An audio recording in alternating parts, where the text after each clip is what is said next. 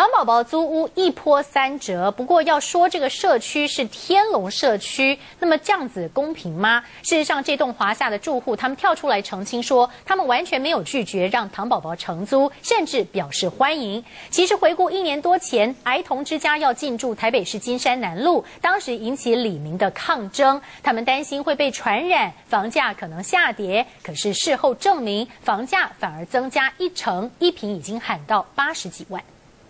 我妈妈本来就是答应说要去给那个什么唐氏宝宝基金会，后来好像又不租了啦。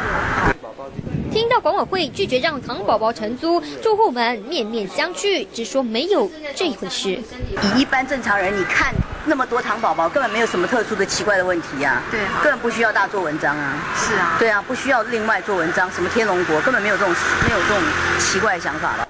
糖宝宝租屋一波三折，来到大安区安和路这一栋华夏，好不容易找到适合场地，却被拒绝，引来脸书上网友骂声连连。住户们被外界挂上“天龙人”称号，但事实上他们大多意见一致，表示欢迎。如果知道的话，应该会支持吧，不会反对啊，因为这是这是好的事，不是吗？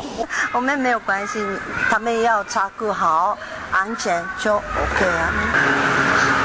儿童之家在设立的时候，也引起当地的居民以及里长的反弹。他们担心的是会影响房价，但事实证明，经过了一年之后，金山南路二段这里的房价没有下跌，反而增加一成。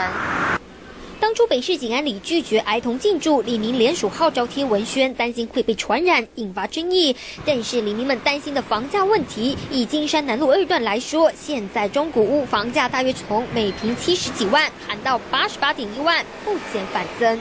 到现在这样，你们还会反对吗？不会了，人家生病在那边，也没有什么嘛。其实住户只要多将心比心，就能避免再被批评天龙国不知人间疾苦。中新闻侯正仁、吴玉轩台北采访报道。